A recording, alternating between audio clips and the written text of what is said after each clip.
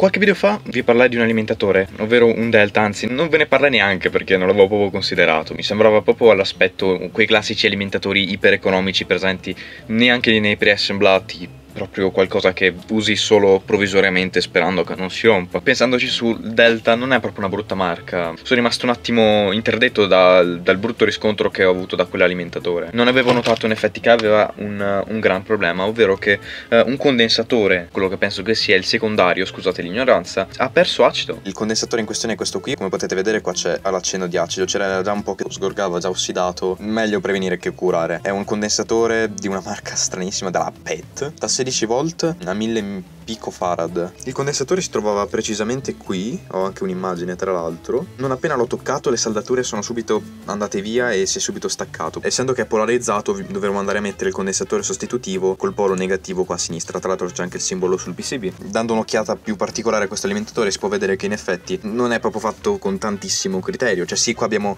um, un condensatore piatto subito all'entrata della, della, 220 e abbiamo anche eh, il selettore on e off che è una cosa che non è presente in tutti gli alimentatori alimentatori ed è abbastanza imbarazzante che non ci sia in alcuni. È fatto tutto un po' storto, cioè guardate tipo sto condensatore che vabbè, non ho parole, vabbè. E qua il trasformatore. Il trasformatore si vede proprio che è di fascia abbastanza bassa. Non avevo mai controllato l'etichetta perché appunto l'avevo proprio considerato una merdaccia sto alimentatore. Considerando anche che c'ha il 20 pin più eh, il 4 per adattarlo ai PC moderni, cioè moderni da tipo 20 anni, ma vabbè. E ha giusto 2-3 cavi. Per esempio una cosa positiva è il ponte a diodi è bello, è bello, è bello grande, cioè non mi sembra, non mi sembra tarocco. Per esempio qua si può vedere sul PCB che avevano predisposto anche la circuiteria per fare il ponte a diodi usando i, i diodi singoli senza usare per forza il ponte e apprezzo il fatto che abbiano usato comunque un ponte a dio di vero e proprio.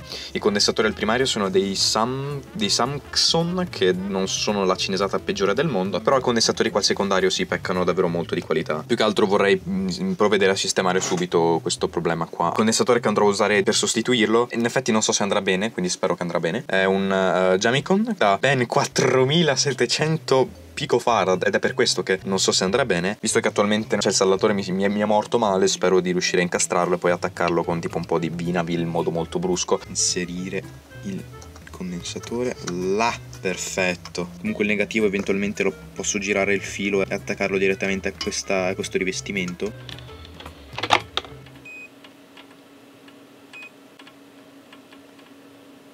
Sì, si intravede là dove c'è anche un po' di scotch. Sì, ho messo anche un po' di, di, di, scotch. Non so se andrà bene, se si scalderà troppo. Comunque adesso direi che è arrivato il momento di testarlo. Visto che non voglio bruciare nulla di quello che ho di schede, eccetera, pensavo di accenderlo proprio senza niente, facendo un ponte tra un filo verde e un filo della terra. Manca una vite. Oh, ne mancano due. La cosa che mi rende più sicuro è il fatto che comunque se sono condensatori eh, al secondario, cioè se quello che ho cambiato è un condensatore al secondario, dovrebbe condurre solo il voltaggio DC eh, a 12 o 5 o 3,3 volt.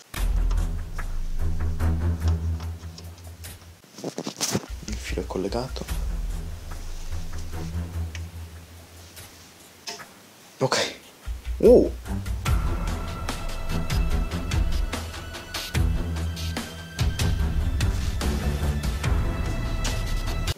funziona.